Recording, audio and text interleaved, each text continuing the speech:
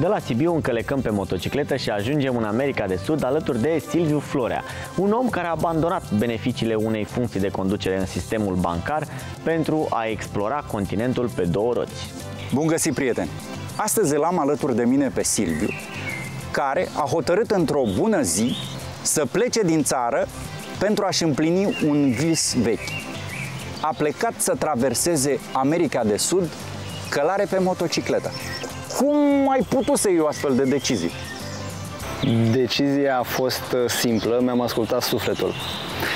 După 13 ani de, de corporație, mm, am plecat într-o mini-vacanță și am decis, am văzut că nu este suficient timpul petrecut în acea vacanță și am zis trebuie să fac un viza meu să fac ceva foarte mare pentru că am timp și am bani.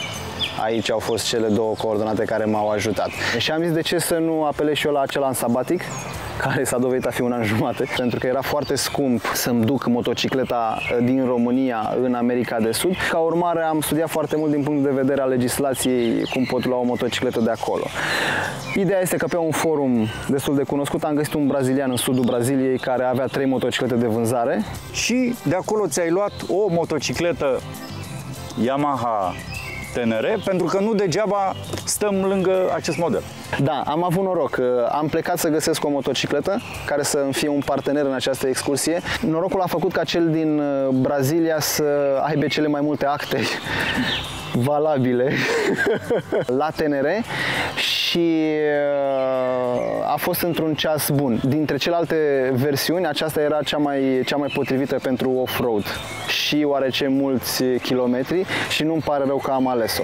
Deci dacă apelăm la statistici, asta înseamnă așa.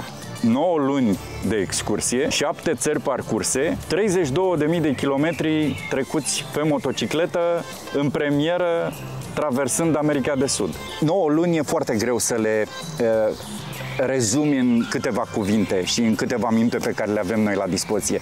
Dar spunem, spunem două, trei lucruri fantastice, deosebite care ți s-au întâmplat pentru că sunt convins în altă lume, în alt colț de lume, în 9 luni, probabil că ai trăit niște lucruri pe care alții nu le vor trăi niciodată. Uh, am dat de oameni care își terminau turul lumii. Am dat de oameni care au renunțat la cariere și au făcut uh, tot așa o călătorie și toată viața au vrut să călătorească. Pentru mine a fost uh, hai să vedem cum este.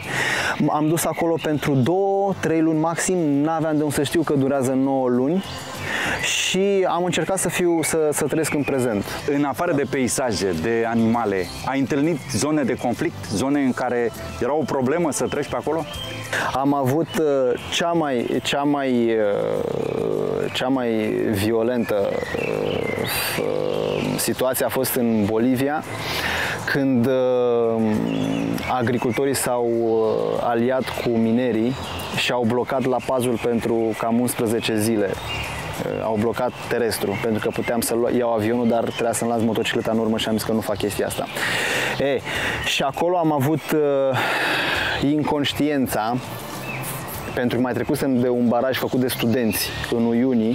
Acolo erau 5.000 de mineri plus uh, agricultori în două baraje pe care le-am trecut în aceea zi erau cam uh, cât 2-3 km de pietre uh, blocat drumul, plus încă 17 km, că știu pe de rost, de mașini blocate pentru că eram pe platou. Tirurile n-aveau unde să, să întoarcă sau să facă ceva. Iar uh, ulterior am aflat de la televizor că au ars mașini și motociclete. Acei oameni, eu neștiind lucrurile astea, văzând barajul scurt, am zis că 100 de metri reușesc să trec, dar de fapt era o curbă acolo și am, m-au dus kilometri de baraj și a fost o experiență cu tremurătoare pentru că am dat și bani să trec uh, mai departe. Soluția a fost că le ziceam că lucrez pentru Dakar. Mi-a zis un motociclist vechi din alt oraș înainte să înceapă blocarea, spune-le că lucrezi uh, pentru Dakar și explorezi noi teritorii să le incluzi în Dakar. Unii mă aplaudau, alții uh, puneau mâna pe mine, mm, unii erau mai fugeau după mine, mai acceleram puțin, dar nu foarte mult. A fost la limită. A fost la limită și de asta zic, aventură, curaj sau inconștiență, eu zic că dacă n-adaugi puțin noroc,